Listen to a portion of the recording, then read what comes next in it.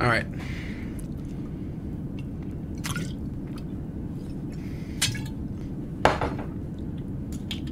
I think this is going to make the stream a whole lot better.